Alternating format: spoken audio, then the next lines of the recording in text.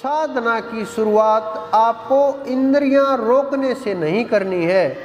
अगर आप इंद्रियाँ रोक करके साधना करोगे तो ये उनको दिशा देनी पड़ेगी। प्रत्येक इंद्री के अंदर अपना कार्य क्षमता है, अपनी ताकत है, अपने अपने विषय हैं, क्योंकि जिस प्रकार से रूप विषय है, रंग विषय है और शब्द विषय है, रस विषय है, गंध विषय है। ये अलग अलग इंद्रियों के अलग अलग विषय हैं और ये इंद्रियाँ अपने विषयों को भोगती रहती हैं, भोगती रहती हैं। इस प्रकार से, जिस प्रकार से काल का विषय शरीर है, अगर आप चाहो कि मेरी मृत्यु ना हो तो ये असंभव है। चाहे कोई भी युग हो, कोई भी समय हो, कोई भी परिस्थिति हो, एक न एक दिन मृत्यु अवश्य होगी। लेकिन जिसके ऊपर काल का प्रभाव नहीं होता, वो आत्मा होती है। जिसके ऊपर काल का कोई प्रभाव नहीं होता, काल उनके आसपास भी नहीं होता और काल उनको छू भी नहीं पाता। तो उस ताकत से दूर हो करके हम इस ओर दौड़ते हैं। तो हमारी इंद्रियों के ऊपर पकड़ कैसे होगी? अगर हमें इंद्रियों के ऊपर पकड़ पहले करनी है, भजन बाद में करना है, साधना बाद में करनी है तो भी हमें रास्ता बनाना पड़ेगा। क्योंकि शरीर ऊर्जा उत्पन्न करता है, बिना ऊर्जा के शरीर नहीं चल सकता। तो इस ऊर्जा को हमें अगर उन चीज़ों से हटा करके अंदर की ओर मोड़ना है तो हमें उसका उपाय करना होगा। अगर उसका हमने उपाय नहीं किया और इंद्रियों को हट पूर्वक रोकने की कोशिश की दम्भ पूर्वक रोकने की कोशिश की तो वो रुकेंगी भी नहीं और आपके शरीर में रोग पैदा होने लगेंगे। शरीर के अंदर विकास जो हो रहा था, उसमें परिवर्तन होने लगेगा और शरीर का सब कुछ हार्मोनल चेंज भी आने लगेंगे। प्रत्येक इंद्री के ऊपर प्रभाव भी पड़ना, पड़ने लगेगा, जिसको हम हठपूर्वक रोकेंगे, क्योंकि ये बलपूर्वक चीज़ें रोकी नहीं जा सकती। जिस प्रकार से आप एक भागती हुई गाड़ी को एकदम से सामने खड़े होकर के रोकने का प्रयास करो तो क्या होगा? वो आपके ऊपर चढ़ जाएगी और आप मारे जाओगे। चाहे गाड़ी बैलगाड़ी हो, चाहे गाड़ी इंजन वाली हो कोई भी गाड़ी हो, अगर आप उसे अपने बल से रोकने की कोशिश करोगे भागती हुई को तो भागती हुई आपको भी गति प्रदान कर देगी और आप भी उसके साथ साथ या तो भागोगे या शरीर में चोट लगेगी या जान चली जाएगी। तो कितना बड़ा रिस्क हो जाता है।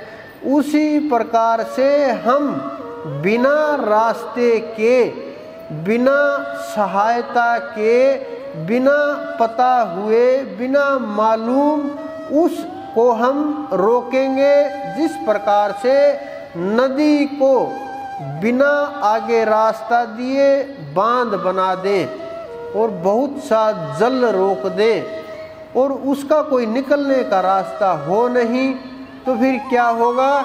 वो जल ऊपर से गिरने लगेगा, बाँध को तोड़ देगा और जो पहले नदी रास्ते के ऊपर चल रही थी, बह रही थी, वो बहना तो बंद हो जाएगा और वो फिर एकदम विराट रूप ले करके बाढ़ का रूप ले करके बहुत हानि पहुंचेगी। वही हालात मानव शरीर का है। लेकिन हम ये समझने को तैयार नहीं हैं, क्योंकि हमें इतना भ्रमित कर दिया गया है, इतना भटका दिया गया है, जीव इतना दुखी हो गया, इतना परेशान हो गया, इतने मन के अंदर संशय पैदा हो गए, मन के अंदर इतने सवाल उत्पन्न हो गए, कौन सा मार्ग सही है, कहाँ सत्य का मार्ग है, कौन सा नाम असली है कौन सा नकली है? कौन गुरु सही है? कौन सी पुस्तक पढ़नी चाहिए? क्या साधना करनी चाहिए? कैसे रास्ता है? कोई वहाँ पहुँचा भी है? नहीं पहुँचा। आस्तिकता से नास्तिकता की ओर बढ़ने लगते हैं। लेकिन ये जो आस्तिकता है इस आस्तिकता मात्र से जीव का कल्याण नहीं हो सकता। जीव के कल्याण के लिए अंदर की जागृति सबसे ज़्यादा आवश्यक है, क्योंकि बिना अंदर की जागृति के मात्र इसके आस्तिकता के कल्याण संभव नहीं हो सकता, क्योंकि कल्याण का जो मार्ग है, वो परमात्मा का मार्ग है। इन इंद्रियों में अगर हम फंस गए, अगर इनको रोकने का प्रयास किया, अगर हम ऊर्धवगामी ना हो पाए, अगर हम योग के द्वारा अंदर की तरफ़ ना मोड़ पाए इस एनर्जी को तो हम बाह्यगामी हो जाएँगे और फिर हठ पूर्वक रोकेंगे तो शरीर और खराब हो जाएगा। मन और दुखी हो जाएगा, बुद्धि में और ज़्यादा दिक्कतें पैदा होंगी।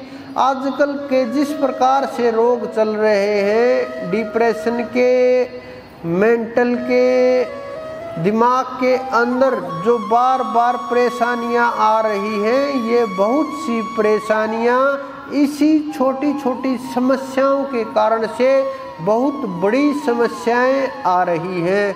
लेकिन इनका कोई किसी के पास निवारण नहीं है। बस ये बोल करके बड़ी बड़ी बातें कह करके बड़े बड़े प्रवचन करके और ब्रह्म ही ब्रह्म पुकार करके और चले जाते हैं। क्योंकि ना तो दिशा दे पाए, न मंजिल बता पाए, न रास्ता दिखा पाए और